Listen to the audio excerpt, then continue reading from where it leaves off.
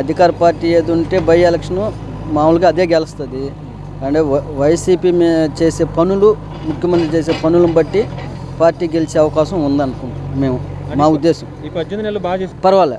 ఈ కరోనా మూమెంట్లో ఇంత బాగా ప్రజలకి అన్నానికి వాటికి ఇబ్బంది లేకుండా నెలకు రెండు సార్లు రేషన్ ఇవ్వటం వాళ్ళకి ఆకలి అనేది తెలియకుండా రాష్ట్రాన్ని తీసుకుని వచ్చాడంటే చాలా గొప్ప విషయం. పనులు లేని టైంలో ఉచితంగా రైస్ ఇచ్చి డబ్బులు కూడా లేకుండా ఉచితంగా రైస్ నెలకు రెండుసార్లు ఇచ్చి టైం టు టైం పదిహేను రోజులకు ఒకసారి పదిహేను రోజులకు ఒకసారి ఇచ్చి వీళ్ళకి ఆకలి తీర్చి అంటే బయట పని చేసుకొని తెచ్చుకొని కాయ కష్టం చేసుకొని తినే మాలాంటి వాళ్ళు ఆ పనులు లేక ఇళ్ళలో ఉన్నప్పుడు ఆకలి తీర్చిన ఘనత ఒక జగన్మోహన్ రెడ్డి గారిది. అమ్మ ఒడి ఇప్పుడు కూడా స్కూల్లో ఫోన్ చేసి వెంటనే ఆధార్ కార్డులు అయితే సబ్మిట్ చేసి సప్లిమెంట్ చేసుకుంటున్నారు. ఇబ్బంది లేదు.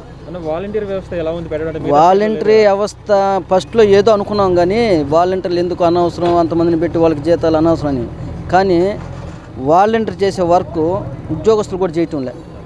అంటే వాళ్ళు ఐదు వేలకు తగ్గ జాబ్ కంటే ఇంకా ఎక్కువ చేస్తున్నారు వాళ్ళు. వాళ్ళు లేకుంటే ఇప్పుడు అందరికీ పెన్షన్లు అయితే ఏమి ఈ అమ్మఒడి పథకాలు అయితే ఏమి ఈ ఇంకా ఈ రాస్తున్నాం కదా ఇళ్ళ పట్టాలు రాయాలని. ఎవరు అర్హత కలిగినాడు అంటే యాభై ఏళ్ళకి ఒక వాలంటీర్ పెట్టడం చాలా గ్రేట్ ఇది. ఎందుకంటే ఆ యాభై ఏళ్ళ వరకు అతను వాలంటీర్ చూసుకొని వీళ్ళలో ఉన్నోళ్ళు ఎవరు లేనోళ్ళు ఎవరు ట్యాలీ చేసుకునేందుకు ఈజీగా ఉంటుంది వర్క్ అందువల్ల వాలంటీర్ సిస్టమ్ పెట్టడం ఫస్ట్లో బా ఎందుకు ఉంటుంది అనుకున్నాము వాళ్ళ వల్ల యూజ్ అవుతుంది ప్రజలకు యూజ్ అవుతుంది. ప్రతి ఒక్క కార్యక్రమం అందు సా సామాన్య మానవుడికి అందుబాటులోకి తెలుస్తుంది పథకం అనేది. ఇప్పుడు పలానా పథకం దేనికి ఈ పథకం దేనికి దీనికి ఎవరు అర్హత కలిగిన వాళ్ళు అనేది వాలంటీర్ ద్వారా ప్రజల్లోకి వెళ్తుంది. లే- ఎలక్షన్ అని కాదు ఎట్ట ఎలక్షన్ బై ఎలక్షన్ ఉంది కాబట్టి పెడుతున్నా అతను బల్లి దుర్గాప్రసాద్ మంచి లీడరు అతను చనిపోయినాడు. ఆ సానుభూతితో ఎలక్షన్ పెడుతున్నారు పెడుతున్నప్పుడు క్యాండిడేట్ని బట్టి ఓటింగ్ ఉంటుంది. అందులో ప్రజలు వైసీపీకే గెలుస్తుందని మా ఉద్దేశం ఏంటంటే అతను చేసే పథకాలు కానీ ప్రజల్లోకి వెళ్ళే విధానం చూస్తే వైసీపీ విన్ అవుతుంది అనేది మా ఉద్దేశం మా మనస్తత్వం. అంటే ఆమె ఇంతకుముందు తిరుపతి పార్లమెంట్కి ఎప్పుడు పోటీ చేయలేదుగా? ఇది ఫస్ట్ టైం చేయటం.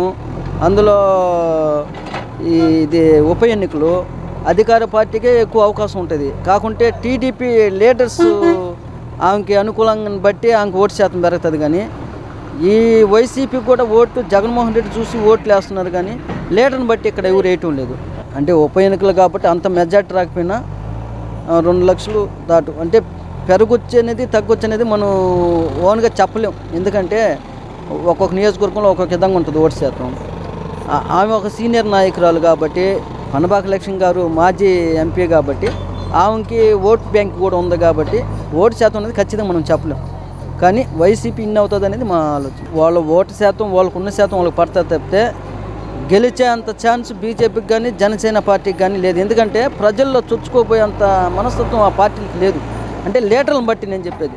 ఇక లోకల్ నాయకులు మారి వాళ్ళు ఏదైనా మార్పు చెందితే తప్ప విన్ అయ్యే ఛాన్స్ కొంచెం తక్కువే. సర్టి దాటిందంటే ఆడ ఆల్రెడీ ఎంపీ ఉన్నాడు ఎమ్మెల్యే ఉన్నాడు ఇక్కడ ఎవరు లేరు ఆంధ్రప్రదేశ్లో? బీజేపీకి. ఒకసారి జనసేనతో పొత్తు పెట్టుకుని మాయావతికి ఎంత శాతం వచ్చింది? ఓటు శాతం?